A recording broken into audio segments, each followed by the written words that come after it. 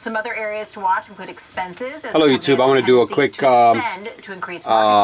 We'll also be watching for any demonstration on how to get into the safe mode on the Prime, Galaxy S4. Amazon Here's a business card. We'll be back soon with those numbers. All Kelly? If you guys have any questions. All right, that looks good.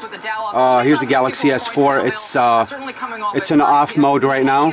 What you want to do, you want to turn off the device, of course, and then you would want to go turn it back on by holding the power button down. And as soon as it powers up, as soon as you see the Samsung logo, hold down the volume down button and Bring us your aching continue on holding it. and sleep deprived. Bring us those who want to feel well rested and Continue on holding it. the morning ahead. Aleve PM, the first to combine a sleep aid plus the 12-hour pain relieving strength of Aleve for pain relief that can last until the AM. So you, you, and you can be a Okay. person again. Eventually, it's going to show down here PM, safe mode. AM. It's much faster if you go the other way. This There you go. Fancy. So you got the safe. Yeah, it's the uh, premium. Can you see it? It's kind of hard with all the lights that I have here. But the safe mode is Uh, actually, My grandfather loved it when I wore leather. there it is. It's actually on.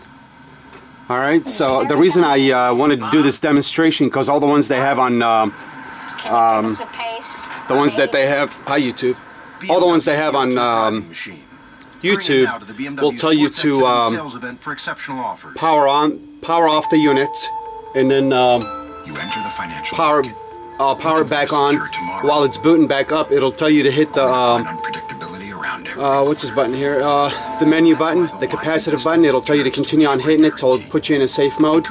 But in my case, that button doesn't work, so I had to use this other uh, method. I hope this helps. Um, subscribe and like. Thanks, YouTube. Have a great day.